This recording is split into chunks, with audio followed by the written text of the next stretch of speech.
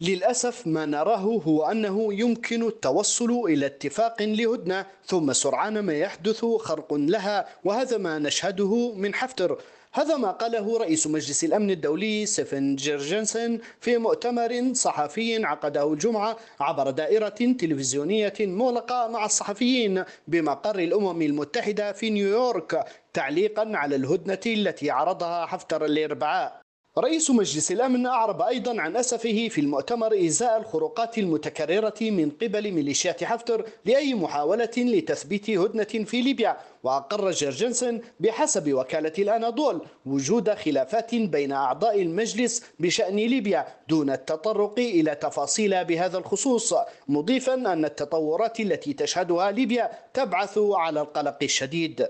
تصريح جاء بعد يوم من إعلان قائد العدوان على لسان المتحدث باسمه أحمد المسماري الذي قال إن وقف إطلاق النار جاء بمناسبة شهر رمضان واستجابة لطلب المجتمع الدولي والدول الصديقة والشقيقة على حد تعبيره لكنه حذر مما وصفه برد فوري وقاس على من يخترق وقف العمليات العسكرية. إعلان كان قد رد عليه المجلس الرئاسي بالرفض قائلا إنه لا يثق أبدا في الهدنة التي أعلنها حفتر بسبب انتهاكاته وخروقاته المستمرة واعتياده الغدر والخيانة بحسب ما جاء في البيان. وأكد المجلس الرئاسي في بيانه استمراره في الدفاع المشروع وضرب بؤر التهديد أينما وجدت وإنهاء المجموعات الخارجة عن القانون المستهينة بأرواح الليبيين في كامل أنحاء البلاد حسب تعبيره.